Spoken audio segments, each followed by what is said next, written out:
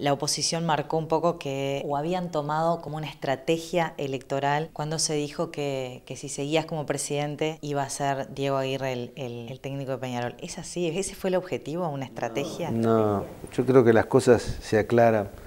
El que, el que aclaró rápidamente fue Diego Aguirre. Yo no hablé sobre ese tema.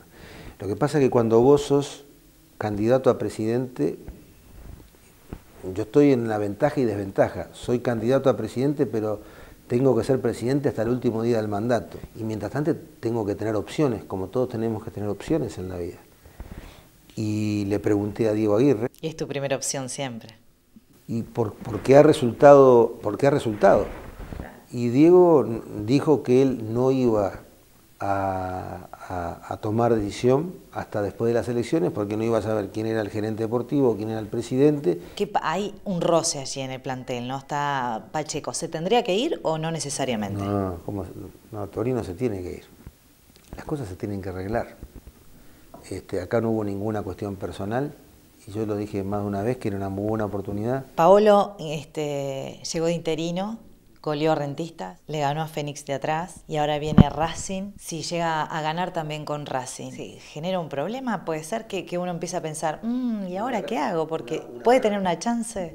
Una gran oportunidad genera, porque tenemos otro técnico este, en las gateras con muy buenas condiciones. Paolo, eh, se lo dije a él, eh, fue un top en el mundo, es joven, quizás él se fue de...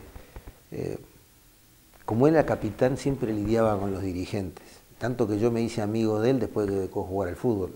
Más de lo que era cuando jugaba, porque yo en la Asociación Uruguaya de Fútbol discutía con él, discutía no, negociaba con él los premios. Y él quería lo mejor para sus compañeros y yo trataba de proteger la, la economía del AUF. También se habló en, estos días de, campaña electoral de que había la posibilidad de poder traer a, Diego Forlán, que además el sueño del padre también es que pueda... Voy a ser claro con eso. Hace como tres semanas eh, Carlos Sánchez, el gerente deportivo, nos dijo que cabía la posibilidad, posibilidad, cabía la posibilidad de que pudiera venir Diego Forlán a, a Uruguay. ¿Te enteraste que el cerezo descendió?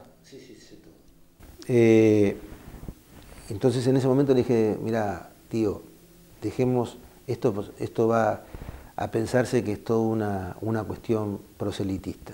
Dejemos stand-by las gestiones hasta después de las elecciones.